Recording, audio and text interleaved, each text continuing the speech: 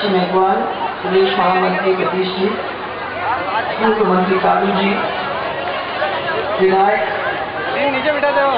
श्री शिवजीराम मीना श्री रामदास जी गुर्जर श्री विमल जी कुमावत, श्री नर्मद श्री रणवीर जी पहलवान श्रीमती अनिता गुर्जर, जिलाध्यक्ष सुभाष बहेड़िया और मंडल मंडल अध्यक्ष मणिराज सिंह जी और मेरे सामने बैठे हुए इतनी संख्या में मेरी सब माता बहनें आपको प्रणाम करना चाहूँगी। सबसे पहले प्रणाम करना चाहूँगी और धन्यवाद देना चाहूँगी कि आप लोगों ने यहाँ आके हम सबका हौसला अफजाई की है उसके लिए आप सबको बहुत बहुत धन्यवाद। मुझे बड़ी खुशी होती है जब आपको देखती हूँ। और उसके साथ साथ इतनी भारी संख्या में सब हमारे भाई और बुज़ुर्ग आए हुए हैं। आप लोग इधर भी बैठे हैं सलमान भाव यहाँ भी बैठे हुए हैं। सब लोगों को उधर भी बैठे हुए हैं। सब लोगों को मैं बहुत बहुत धन्यवाद देना चाहती हूँ कि आप लोगों ने अपने स्वागत में कोई कोर कसर नहीं छोड़ी और बड़े प्रेम के साथ हम लोग सबका यहाँ स्वागत किया है। मैं अजमेर संभाग के ये पहले चरण के अंत में आई हूँ। चार दिन पाँच दिन निकल गए। और आज करेड़ा के अंदर इसका समापन होने जा रहा है। 20 मई से लेके 24 मई तक पाँच दिनों की इस यात्रा के अंदर हमने भीलवाड़ा के, पहले टोंक के और उसके बाद भीलवाड़ा के बहुत बहुत जन समर्थन जो मिला, हम सब लोग, मैं तो हुई हूँ, परंतु सब लोग जो मेरे साथ चल रहे थे, वो सब अभिभूत हैं। और भीलवाड़ा ज़िले की जनता को तो मैं हृदय से धन्यवाद देना चाहती हूँ आप सबके द्वारा कि उन्होंने पलक पावड़े बिछाकर हम लोगों को इतने प्यार से पिछले तीन चार दिन के अंदर से अपने क्षेत्र में से निकाला है कि मैं चाह के भी उसको नहीं भूल पाऊँगा। और इसके साथ साथ मैं भीलवाड़ा ज़िले के संगठन के सभी प्रमुख लोगों को, जो जनप्रतिनिधि हैं, उनको भी बहुत बहुत धन्यवाद देना चाहती हूँ। क्योंकि मैं समझती हूँ कि उनके बहुत ज़्यादा जोरदार प्रथक मेहनत और प्रयासों के बिना ये सब काम हो भी नहीं सकता था। और उनका जो योगदान है, वो बहुत ही सराहनीय है और उसके लिए मैं उनको बहुत बहुत आभार देना चाहती हूँ। सब लोगों को आपने मेहनत की, आपकी मेहनत रंग लाई और उसके लिए भी आप सबको बहुत बहुत आभार। अकेले कार्यकर्ताओं में मैं सब लोगों को जोड़ रही हूँ, हमारे मोर्चों, उनको भी जोड़ रही हूँ और हमारे प्रकोष्ठों उनको भी जोड़ रही हूँ और मैं सबको आभार देना चाहती हूँ इसमें। हमारे बीपी सिंह जी हैं, हमारे सुभाष मेड़िया जी हैं शिवजी राम जी, रामलाल जी विठल जी, अवस्थी, कटललाल जी, अनिल भारद्वाज जी, कानूलाल जी। उसके साथ जहाजपुर, शाहपुर, आसीन, भीलवाड़ा, मांडल और बनेड़ा और गुरडा गंगापुर, मांडलगढ़, विधानसभा क्षेत्र के सब नेता, सब कार्यकर्ता, सब मीडिया कर्मी प्रशासन इन सब का मैं आभार व्यक्त करना चाहती हूँ। कोई रह गया तो गलती से रह गया अपने आप को उससे मान लेना। मैंने पूरी कोशिश की है सब लोगों को इकट्ठा करके सब लोगों को मैं धन्यवाद दूँ। आज ये आखिरी सभा है, परंतु भाइयों, आपको याद होगा, मुझे याद है, अब ये मंच आ गया है इसमें तो मेरे को डायरेक्शन सही नहीं मिल रहा, परंतु कारूलाल जी जानते होंगे, हम लोग यहाँ हेलीकॉप्टर से आए थे। यही हेलीकॉप्टर से आए थे मुझे याद है आप लोगों ने एक रिकॉर्ड मीटिंग की थी, मुझे तो ये दिवाले वगैरह कुछ नहीं दिख रही थी। मुझे याद है। आप लोगों ने सबने आके, और मुख्यमंत्री के रूप में मैंने आके यहाँ आप लोगों की मीटिंग की थी। आप लोगों से यहाँ मुलाकात की थी वो एक ऐतिहासिक मीटिंग थी। और इसीलिए मैं सिंह जी थे साहब सिंह जी साथ में थे। मुझे याद है, कनाडा की जनता के साथ रूबरू होने का उस समय और बड़ा मज़ा आया था। सब लोगों से मिल मिला के काफ़ी देर तक मुझे लगता है डेढ़ घंटा तक। मैं आप लोगों के बीच में रुकी थी। सब लोगों से मिल के फिर यहाँ से गई थी आगे। वो कार्यक्रम था। और मुझे याद है कि बहुत सारी आपकी समस्याएँ उस समय कारूलाल जी ने मेरे सामने रखी थी। शायद वो पानी की भी समस्या थी, आपकी बिजली की भी समस्या थी, कई समस्याएँ थी और उन समस्याओं को पूरा करने का काम हम लोगों ने दिया था। मुझे याद नहीं कितना रुपए और मुझे याद है कि जीएसएस का भी काम हमने चालू किया था उस समय। आपके पीने के पानी की टंकियों का, आपके पाइपलाइन बदलने का, ये सब काम सब काम हम लोगों ने किए थे। और मुझे खुशी लगी सुन के कि कुछ दिन तक तो चला। अभी पानी अभी पानी की जो मुसीबत मैं देख रही हूँ, उससे मुझे बड़ा दुख हुआ। मैं अब एक महीना बीस दिन से चल रही हूँ। और एक महीना बीस दिन से जब मैं जनता के बीच में गई हूँ, जहाँ जहाँ मैं लोगों से मिली हूँ, सबसे पहले माता बहने निकल के आके मेरे से एक ही बात करती हैं कि पानी का इंतज़ाम करिए। हमारे भाई जो बैठे हुए हैं, वो कहते हैं, बिजली का इंतज़ाम करिए। और सब मिलकर ये कहते हैं कि सड़क तो ऐसी जर्जराई हुई सड़कें हैं, हमारे गाँव के अंदर इतना सारा कीचड़ हो जाता है हमारी ये सब व्यवस्थाओं को ठीक करो। तो मेरे को ऐसा लगता है कि 2003 की परिवर्तन यात्रा में निकली मैं, मुझे मने वाकई में शर्म आती जब मैं सोचती हूँ कि 10 साल निकल गए और इस 10 साल के अंदर कुछ भी नहीं बदला है। जब बात होती है तो ये बात निकल के आती है कि लगा हुआ मध्य प्रदेश इलाका है। मध्य प्रदेश इलाके के मुख्यमंत्री को 10 साल दिए उनकी जनता ने और उन लोगों ने काम करके मध्य प्रदेश का बिल्कुल हुलिया बदल दिया है। आज मध्य प्रदेश देश के मानचित्र के ऊपर आके चमक गया है। वही मध्य प्रदेश जो देश में नंबर 14 नंबर 15 बिल्कुल नीचे की पंक्तियों में खड़ा रहता है। उस इस तरफ़ आप देख लीजिए गुजरात। गुजरात के लोगों ने 15 साल दिए अपने मुख्यमंत्री को और उन्होंने अपने प्रदेश को चमका के रख दिया खाली देश के अंदर नहीं परंतु विदेश के लोग भी अगर हिंदुस्तान में किसी स्टेट को जानते हैं, किसी प्रदेश को जानते हैं, अगर उनसे पूछो तो वो सबसे पहले गुजरात का नाम लेंगे, क्योंकि गुजरात का नाम तो पूरी दुनिया के अंदर फैल गया। ये तो 10 और 15 साल की करामात है। आप लोगों ने मुझे यहाँ पाँच साल दिए। इन पाँच साल के अंदर मुझे याद है कि हम लोगों ने बहुत सारे काम बदले। चाहे बिजली का काम हो, बिजली के काम पे तो माताएँ बहने मैं आपको ये कहना चाहूँगी कि चला के अभी तक तो कहीं भी राजस्थान के अंदर घरेलू बिजली नाम की चीज़ें नहीं होती। पहली दफ़ा ये सोच करके कि भाई हमारी महिलाएँ इतनी मुश्किल से जीती हैं, किसानों को फिर भी कुछ कुछ बिजली वहाँ खेतों में मिल जाती है। परंतु तो यहाँ उनको नहीं मिलती तो उनकी व्यवस्था अपन ऐसा कर दो कि घरेलू बिजली सिंगल फ़ेज़ की उनको मिल जाए तो थके मानते किसान जब घर वापस लौटेंगे या व्यापारी जब अपने घर वापस लौटेंगे तो उनका घर ठंडक ठंडक में होगा। भोजन आराम से ठंडक में कर सकेंगे। माताएँ बहने के पास अगर कोई फ्रिज है या कूलर है तो वो चल सकेगा। अगर नहीं है तो लट्टू ही है, वो भी चल जाएगा। और बच्चों को अगर परीक्षा की और पढ़ाई का काम करना है तो उनको कहीं इधर उधर भटकने की ज़रूरत नहीं होगी। वहाँ बैठ के वो आराम से अपने घर के अंदर ठंडक में पढ़ाई कर सकेंगे। ये सोच करके मैंने दूसरी लाइन आप लोगों के लिए निकाली। जाते जाते मुझे याद है कि जगातार, लगातार मैं फ़ोन करा करती सरपंचों को, सबको। और हम लोगों ने निकल मैंने जब तक सरकार वापस नहीं दी तब तक आपके घरों में बिजली आई और कहीं 18 घंटे, कहीं 20 घंटे, और मैं मानती हूँ कि अगर छह महीने और मिल जाते तो 24 घंटे सिंगल फ़ेज़ की बिजली आपको सबको घर में आराम से मिल जाती। और मुझे दुख है, ये जान के आज जब मैं पूछती हूँ जगह जगह पर पूछती हूँ तो लोग कहते हैं कि हाँ वो बिजली हाँ आपकी बिजली, वो बिजली अब हमको छह घंटे, सात घंटे आठ घंटे ऐसी मिलती है और साहब, इतनी ट्रिपिंग होती है कि आपको क्या बताएँ?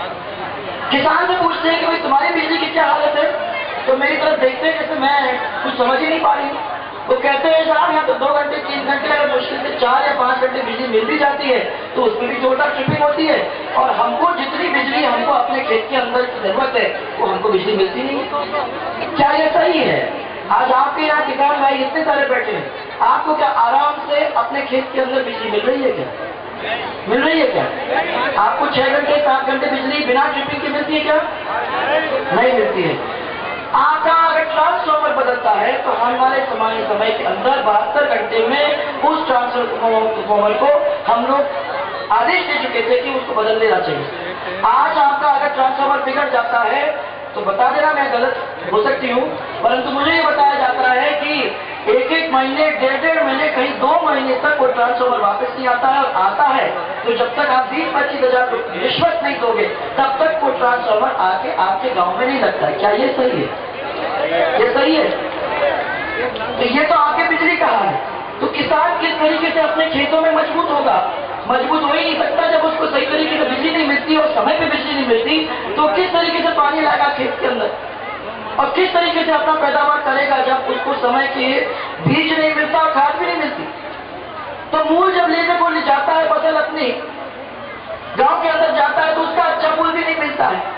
और अगर मुआवजा का समय आता है, जैसे पाला पड़ जाता है या फ़सल नष्ट हो जाती है तो सरकार तो जयपुर के अंदर कहती है कि हमने पैकेज बना के किसानों को दे दिया कि बिजली के दाम उनको कम कर दिए। और पैसों का इंतज़ाम उनके लिए कर दिया। पर तो मैं जाऊँ, गाँव में जाती हूँ तो किसान तो हाथ ऊपर करके कहता है कि हमको तो मुआवजा नहीं मिला। किसान भाई, आपको किसी को मिला मुआवजा? कोई मिला? नहीं मिला। इसी तरीके से मैं जब पता किया कि वहाँ मुझे ये बताया गया कि किसानों के लिए हम लोगों ने चला के एक लाख पचास हज़ार का लोन बनाया है। इस लोन के अंदर बिना ब्याज का सीधा किसान को लोन मिलेगा। कोई है किसान जिसको एक लाख पचास हज़ार बिना ब्याज के सीधे लोन मिला, बिना रिश्वत दिए? मैंने पता किया कि बीपीएल परिवार को क्या आप सही तरीके से पचास हज़ार रुपए दे सकते हो? मिलता है क्या? तो बीपीएल परिवार के लोगों ने हाथ ऊपर करके मुझे कहा कि नहीं, हमें तो नहीं मिल रहा पचास हज़ार रुपए नहीं मिलते और अगर पचास हज़ार रुपए का चेक भी आता है तो दस हज़ार रुपए रिश्वत में हमें पहले देने पड़ती है। तभी मेरे को चालीस हज़ार रुपए मिल जाए। ये भी स्थिति है। किन्हीं किन्हीं लोगों से मैंने पूछा कि एक रुपए किलो के हिसाब से गेहूँ आपको मिलने लगा? तो कहीं भी मेरे को लोगों ने नहीं कहा कि हमको गेहूँ मिला। आप यहाँ बैठे हो तो कोई बताओ मेरे को, किसी को मिला है? एक रुपए के हिसाब से गेहूँ मेरे को तो बताया नहीं, हमें नहीं मिला है। और एक आदमी मेरे को मिला, उसने कहा, बड़ी मुश्किल से पिछले महीने में हमारे पास दो रुपए के हिसाब से गेहूँ मिला वो तो पुरानी स्कीम है वो हमको मिला। और कहते हैं कि दो महीने बाद हमको फिर से देंगे, परंतु हमारे पास वो सही तरीके से नहीं मिला। अब ये तो आपके स्कीम्स की रही। जल की बात करते हैं, पानी की बात करते हैं तो हाहाकार मचा हुआ है। सब लोग मेरे को कहते हैं, या तो पानी आ नहीं रहा है, या गाँव के अंदर चार चार दिन में आधे घंटे या पंद्रह मिनट के लिए गाँव में पानी आता है। और अगर आता भी है तो कहते हैं कि फ्लोराइड युक्त पानी है, जिसकी वजह से हम लोगों को बहुत ही मुसीबत हो जाती है, बीमारियाँ हो जाती है, कोई कुबड़े हो जाते हैं, कोई और दूसरी बीमारियाँ हो जाती है। और उन्होंने कहा, ये तो सब पूछा रास्ता इतनी खराब हो गई है जगह जगह पर मैं खुद इस बस को लेके रस्तों से निकली हूँ, ऐसे रस्तों से निकली हूँ जो ज़्यादा गड्ढा था और कम रास्ता ऐसी तो स्थिति मैंने देखने को मिली। ये है ये साढ़े चार साल का काम। है और मैं आप लोग भाइयों को सबको ये कहना चाहती हूँ कि मैंने कनेडा में आके ये भी पता करने की कोशिश की कि भाई यहाँ देखूँ, यहाँ क्या हो रहा है? तो मेरे को ये मालूम पड़ा कि प्रेशर की समस्या जोरदार है। चार दिन में एक बार प्रेशर की सप्लाई है। क्या ये सही है? ये सही है क्या? तो चार दिन नहीं, सात दिन में, सात दिन में। ये सब लोग मेरे को कह रहे हैं कहीं पाँच दिन है कहीं चार दिन है, पर आपने तो रिकॉर्ड तोड़ दिया जी।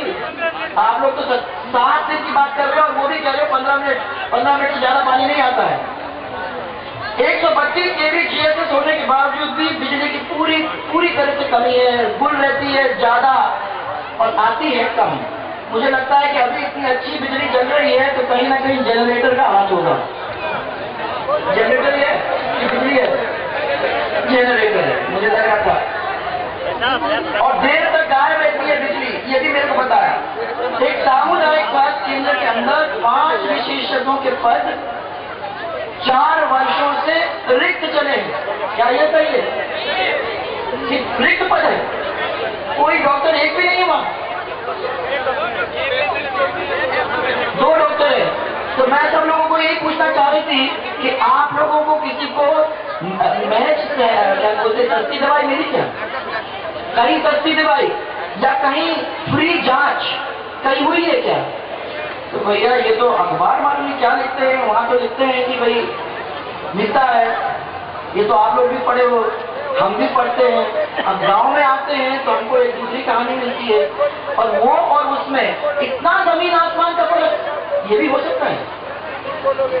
इसमें बोराना से करेड़ा आते हुए सड़क के हाल बहुत ही खराब है। बड़े बड़े गड्ढे आपसे पूछो। बड़े बड़े गड्ढे। और लगता है लंबे समय से इसकी मरम्मत नहीं हुई है और जहाँ कहीं हुई भी है तो सिर्फ़ लिपा पोती हुई है, उसके ऊपर मट्टी डाल दिया है, मट्टी से गड्ढे भर दिए हैं कि कहीं इसकी इसकी बस ज़्यादा खराब ना हो जाए फिर हल्ला ना करे तो यहाँ से निकल जाए, उसके बाद देखा जाए। ऐसी स्थिति मैंने जगह जगह आपके रस्ते के ऊपर देखा। क्षेत्र के विद्यालयों के अंदर जो अध्यापकों की कमी है, विद्यार्थियों के पलायन करने का मैंने उनको मजबूर कर दिया है। जब टीचर ही नहीं है तो उनको जो पलायन करके दूसरे स्कूल में जाना पड़ रहा है। राजकीय महाविद्यालय की जोरदार आपकी यहाँ मांग है। और आप पढ़ोगे तभी तो आएगी राजकीय विद्यालय उसके पहले क्या होता है। और आप ये भी कहते रहो कि पंचायत समिति के गठन की आपकी जोरदार मांग है, वो भी हमको मिल जाए तो हमारा उसका बहुत फ़ायदा हो जाएगा। मैं आप लोग सबको ये कहना चाहती हूँ कि हमने और आपने दोनों ने राजस्थान का एक सपना देखा। हम लोग सबने ये सोचा है कि एक ऐसा राजस्थान हो जा, जहाँ हमको ऐसी नरकीय ज़िंदगी नहीं निकालनी हो। मैं आपको ये ध्यान दिलाना चाहती हूँ कि अगर वहाँ मध्य प्रदेश के अंदर दस साल और यहाँ पंद्रह साल गुजरात में मिल गए तो राजस्थान में हमने कांग्रेस को पचपन साल दिए। कितने साल? पचपन साल दिए और पचपन साल को देने के बाद आज ऐसी ज़िंदगी जिसके अंदर हम लोग ऐसे बैठ के एक दूसरे से बात कर रहे हैं और कह रहे हैं एक दूसरे को कि हम ऐसे नरक में जी रहे हैं जहाँ हमारी छोटी छोटी मुसीबतों को भी कोई ठीक करने के लिए या नहीं है। मैं समझती हूँ कि ऐसा किसी के साथ नहीं होना चाहिए। एक सपना आपने देखा, वो सपना मैंने भी देखा है। हम चाहते हैं कि हमारी महिलाएँ जो राजस्थान के अंदर आज उनके साथ जो अत्याचार हो रहे हैं, ये अत्याचार होना बंद हो जाए माता में आप लोग सड़क के ऊपर सुरक्षित नहीं चल सकते। हमारी बच्ची कहीं जाती है बाहर, घर से तो माँ बाप का दिल धड़कता है कि वो वापस आएगी कि नहीं बच्ची, और ठीक सही सलामत आएगी कि नहीं। है कि नहीं? सब लोगों के दिमाग में ये चलता है। आप देख लीजिए जयपुर के अंदर वो बेचारी मूक बनी बच्चों के साथ क्या हुआ? नौ महीने से उनके साथ अत्याचार हुआ और तीस तारीख को जब उन मालूम पड़ी, तब भी मुख्यमंत्री जी और कांग्रेस की सरकार ने उसके ऊपर पर्दा डालने की कोशिश की कि राहुल गांधी आए हुए हैं, कहीं ऐसा न हो कि राहुल गांधी को मालूम पड़ जाए तो हमारी सिया खराब हो जाएगी। इसलिए उनकी मैंने इज़्ज़त का सवाल, उनकी मुसीबत को ठीक करने का किसी ने प्रयास ही नहीं किया। और जब प्रयास करने के टाइम आया तो तीन लाख रुपए देके अपना पल्ला झड़ने की कोशिश कर दी क्या हम लोग तीन लाख पे अपनी अजमत को बेच सकते क्या ये स्थिति हो गई है महिलाओं के राजस्थान के अंदर? उस राजस्थान के अंदर, जहाँ महिलाओं की इज़्ज़त और स्वाभिमान के ऊपर, मैंने आपके क्षेत्र लूट चाहते थे। ऐसा राजस्थान था कि राजस्थान के परिवार के लोग आज इसको अपनी आँखों से देख रहे हैं कि हमारी इज़्ज़त, हमारे घर की इज़्ज़त, हमारी महिला, उसके साथ ये हो रहा है। क्या कौन इसको बर्दाश्त करेगा?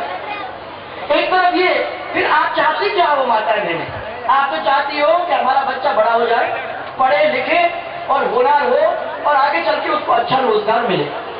हम भी यही चाहते हैं। परंतु पिछले साढ़े चार साल के अंदर आप मुझे ये बता दो, कितने बच्चों को रोज़गार मिला है या जिसको रोज़गार मिला हो?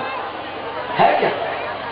आपको मैं याद दिला दूँ कि हम लोगों ने अपने पाँच साल के अंदर दस लाख बच्चों को नौकरी देने का काम किया, जिसमें सरकारी भी थे और गैर सरकारी भी थे।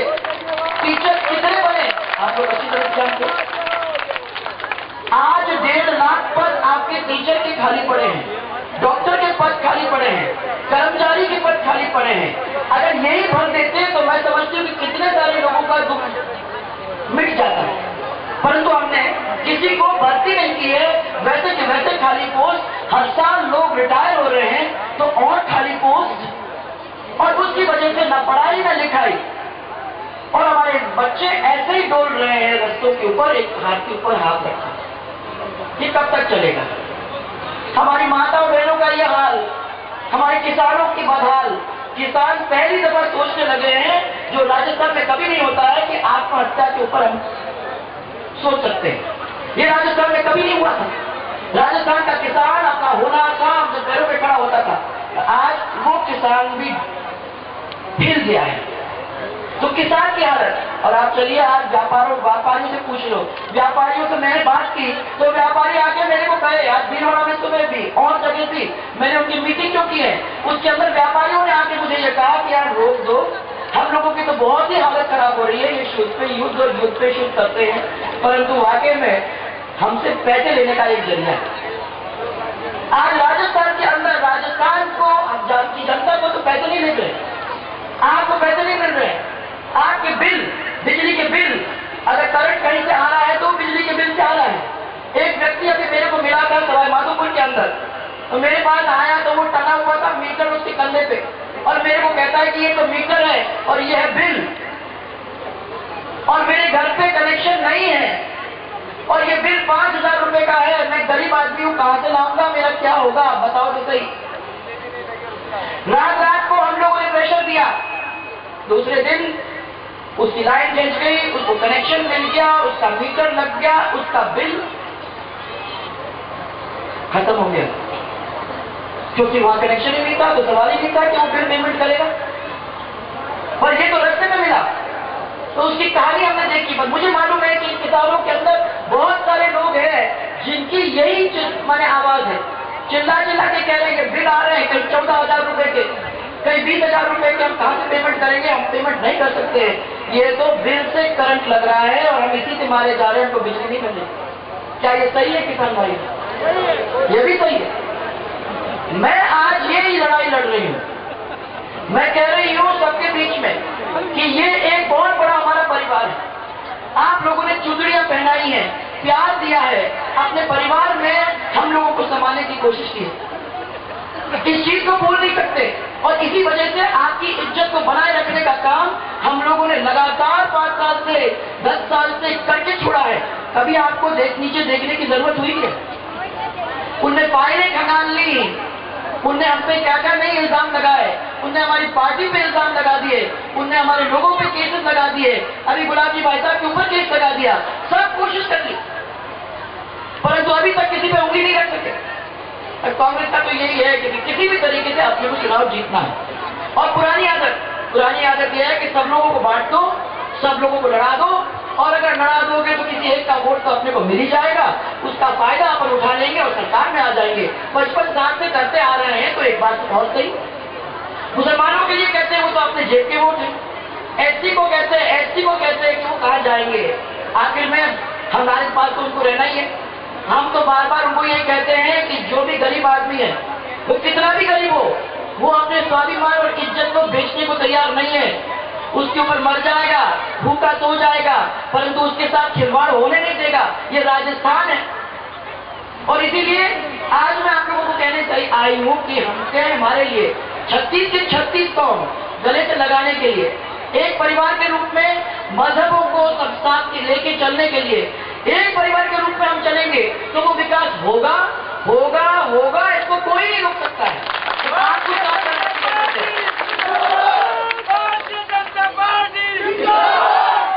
हमने ये भी कोशिश की थी कि सब लोगों को हम लोग खुश रखने की कोशिश करें। हमने हमारे गुजर भाइयों को पाँच प्रतिशत आरक्षण देने की बात भी की और आरक्षण की बात ही नहीं की थी, हम लोगों ने ये तय किया था कि जस्टिस चोपड़ा की एक अच्छी रिपोर्ट बनेगी, एक रिपोर्ट बनी उस रिपोर्ट के आधार पे हम उसको विधानसभा ले गए। विधानसभा के अंदर ले जाने के बाद उसको गवर्नर साहब के पास, राज्यपाल महोदय के पास ले गए। राज्यपाल महोदय उसको लेके बैठा। कि देखते हैं कितने दिन तक बैठ सके। फिर उसको मालूम पड़ा कि वकीलों के उन कहने पे आपको आगे ले जाना पड़ेगा, क्योंकि तो उसके अंदर कोई गलती नहीं है। तो ऊपर भेजा। अब बस खाली एक ही बात रह गई थी कि नौवीं सूची में इसको किसी भी तरीके से डाल दिया जाए। अब यहाँ हमारे कड़ी से कड़ी जोड़ने की बात उठी। कांग्रेस की सरकार यहाँ भी थी, कांग्रेस की सरकार वहाँ भी थी। हमारे दो मंत्री यहाँ हैं, एक पायलट साहब एक तरफ़, दूसरी तरफ़ नमो नारायण जी मीना दोनों ने को कहा, कई बार लोगों ने कहा कि अब आपको खाली ऊपर जाके प्रेशर देने की ज़रूरत है। ये नौवीं सूची में चला जाएगा तो हम कितने सारे लोगों का भला हो जाएगा, ये आप लोग सबको मालूम है। परंतु आज दिन तक ऐसी स्थिति के अंदर जहाँ दोनों सरकारें एक कांग्रेस की है ऐसे भी कहीं नहीं किया। अगर कर देते तो कितने सारे लोगों को फ़ायदा हो जाता? ये आप लोग अच्छी तरह से जानते हैं। कांग्रेस को किसी को खुश नहीं करना। कांग्रेस तो दुबाती है। आओ, ले ले ले अब ले तो तभी होता है जब इलेक्शन का टाइम आता है। नहीं तो दो दो दो हमको देते रहो। और चार साढ़े चार साल आपको दिए इसीलिए मैं इस हाथ से घबराती हूँ। जो ये हाथ है ना, ये बड़ा डरावना है। इस हाथ ने बड़े कर्म किए हैं। ये हाथ ने महिला के गला को दबोचा है, लोगों के जेब को काटा है और अभी भी गोरख धंधे में लगा हुआ है।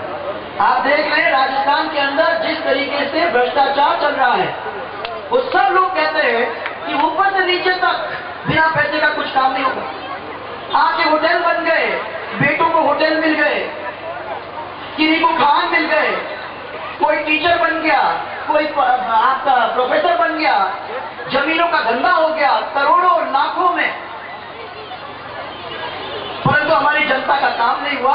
आज जनता के बीच में जाओ तो जनता कहती है, पानी नहीं है, बिजली नहीं है, सड़क नहीं है, कहाँ से शुरू है? अगर हमारे बच्चों को नौकरी हम दिलवाना चाहते हैं तो हमने कितने ज़ोर लोगों से हाथ जोड़ा? एक बहुत बड़ा फ़ंक्शन किया जयपुर के अंदर। लोगों को बुला के अपने आखिरी साल में हमने ये कहा कि आइए, निवेश करिए फैक्ट्री लगाइए। फैक्ट्री लगाओगे तो हमारे बच्चों को यहाँ नौकरी मिलेगी। उनको गुजरात जाने की ज़रूरत नहीं होगी। उनको कहीं बाहर जाने की ज़रूरत नहीं होगी। उन्होंने फैक्ट्री लगाना काम शुरू किया। ये सरकार आई। वापस पानी, बिजली, सड़क इसकी मुसीबत हुई। और जब उन्होंने देख लिया कि कोई भी हमारी मदद करने वाला नहीं है तो उनने अपने, अपनी फैक्ट्रियाँ उठाई और सब वापस धीरे धीरे धीरे चले गए। आज राजस्थान के अंदर भीलवाड़ा तक की इंडस्ट्री उठ के जा रही है कहा? गुजरात में। ये स्थिति बन गई। मैं उधर गई थी सिरोही के अंदर, सिरोही और आपके जालोर, ये सब इलाका जो लगा हुआ है गुजरात से। तो मैं पता कर रही थी कि जीरा मंडी का क्या हुआ? उन्होंने बोला, साहब, एक ऊंझा नाम की जगह है गुजरात के अंदर। उसके अंदर सब जीरा ईसबगोल इन सब चीज़ों की मंडी सब उठ के वहाँ चली गई है। अब वहाँ क्यों चली गई है? हम तो चाहते हैं कि वो राजस्थान के अंदर हो, धंधा राजस्थान के अंदर हो, पैसा कमाई राजस्थान के अंदर हो, ताकि धीरे धीरे राजस्थान का नाम भी हो। अरे, जब हम प्रदेशों की बात करते हैं तो कोई तमिलनाडु की बात करता है तो कोई आंध्र की बात करता है तो कोई गुजरात या कर्नाटक की बात करता है, मध्य प्रदेश की बात करता है, राजस्थान की बात क्यों नहीं करता है? हम चाहते हैं कि राजस्थान की बात हो। और मैं आज आपको ये कहने आई हूँ कि एक अकेले आदमी नहीं कर सकता। हम सब लोग आपके साथ चलने को तैयार हो। परंतु आप लोगों को भी एक मुखी होके साथ में मिलके अगर चलने की तैयारी है तो मैं समझती हूँ कि हम इस विकास को राजस्थान के अंदर लाके छोड़ सकते हैं। तैयार हो? तैयार हो? मुश्किल काम है, मैं आपको कहना चाहती हूँ कि क्योंकि कमर कसना पड़ेगा और आपको लोग डराएँगे, धमकाएँगे, लुभाएँगे मैं यहाँ सब बैठे हुए लोगों से कहना चाहती हूँ कि मैं तो चलने को तैयार हूँ, परंतु एक हाथ से, एक व्यक्ति के हाथ में इतनी ताकत नहीं है जितनी ये बैठे हुए लोग जो है, ये परिवार के जो लोग हैं, इनके हाथों में जो ताकत है वो हमारे हाथों में। पर अगर आप लोग हो तो मैं समझती हूँ कि बातचीत कर करके लोग जो चाहते हैं उनकी सुन सुन के जिस तरीके से 2003 और 2008 के बीच में हमने बातचीत कर करके लोगों के काम को करवाए कौन कहता है कि सरकार के पास पैसा नहीं है? मुझे याद है 2003 के पहले कांग्रेस की सरकार की आवाज़ यही निकलती थी कि हम तो कंगाल है हमारे पास पैसा नहीं है खाली है। और 2003 के अंदर हमारी सरकार हुई। और 2003 के बाद आपने हमको कहा कि यहाँ कॉलेज लगाओ या पानी दो या रोड बनाओ या बिजली का इंतज़ाम करो। वो सब काम हुए? तो पैसा था और कभी हमने आपको ये नहीं कहा कि पैसे की कमी ये तो इच्छा शक्ति की कमी थी माताएँ बहने, इच्छा शक्ति की कमी हम लोगों को ये तय करना है, जिस तरीके से आप घर संभालती हो, उसी तरीके से हमको राजस्थान संभालना हम लोगों को सब लोगों को मिलके, हम नहीं पूछ रहे कि आप कौन से जात के हो नहीं पूछ रहे आप कौन से मज़हब के हो, बस आप राजस्थान के हो और राजस्थान के होने की वजह से आपकी ताकत राजस्थान को बनाने में होगी। क्योंकि राजस्थान बनेगा तो हमारा परिवार बनेगा। अगर राजस्थान गड्ढे में पड़ेगा तो हमारा परिवार भी गड्ढे में पड़ेगा। ये हमने सबने पचपन साल से देख लिया है। अब इसमें बदलाव करना है। और इस बदलाव के लिए मैं आपके सामने खड़ी हूँ। मेहनत होगी। अभी चार महीने बाकी हैं। और मैं जानती हूँ कि राजस्थान की सब जनता में हमारे इस परिवार के हाथों में वो ताकत है। आपके दिल के अंदर वो ललक है। और मैं जानती हूँ कि आप लोग सब चाहते हो कि आपका भी क्षेत्र वैसा ही हो जैसे गुजरात के अंदर है। मैं ये जानती हूँ कि आप भी चाहते हो कि आपके बच्चों को पलायन करके कहीं जाने की ज़रूरत नहीं है। यही हो, यही नौकरी हो, ताकि हम अपने घर को संभाल सकें, अपने बूढ़े माँ बाप को संभाल सकें और उनके साथ कंधे से कंधा हम काम कर सकें। आप चाहते हो नहीं सब चाहते हैं चाहते हैं तो ये तय कर लो कि आने वाले समय के अंदर हम तैयार हैं, हम राजस्थान के लिए लड़ेंगे, हम अपने परिवार के लिए लड़ेंगे, और हम लोग मिलके एक ऐसा नया राजस्थान बनेंगे, एक सपने का राजस्थान बनेंगे, जिसमें हमारे यूथ हमारे बच्चे, हमारी माताएँ, बहनें सब सुरक्षित होंगी और हमारे किसान मज़बूत होकर अपने पैरों पर खड़े होंगे। का तो आज किसान भाइयों भारतीय जनता पार्टी का नारा तो मैं दूँगी पर मैं ये कहूँगी कि आप लोगों के ऊपर पूरा निर्भर है। आपने परिवार जैसे मुझे संभाला है। मुझे मालूम है कि मैं बहुत अच्छे दिनों से भी निकली हूँ, बुरे दिन से भी निकली हूँ, परंतु ये सब नहीं हो सकता था अगर आप नहीं होते। इसलिए आपका आशीर्वाद और प्यार बना रहे। आपकी ताकत हमारे पीछे लगी रहे। हम लोग आगे दौड़ेंगे परंतु ये पूरी टीम एक साथ काम करेगी। तो एक नया राजस्थान बना के छोड़ेगी। ये विश्वास करके मैं आपको यह बता दूँगी जोरदार नारा मेरे साथ भारतीय जनता पार्टी। भारतीय जनता पार्टी। एक राजस्थान के लिए, एक वो नए राजस्थान के लिए, एक वो राजस्थान के लिए जो हमारे सबके दिल में, दिमाग में बैठी हुई है जय जय राजस्थान जय जय राजस्थान आप लोग सब मिलके हम लोगों के साथ चलें। एक नया राजस्थान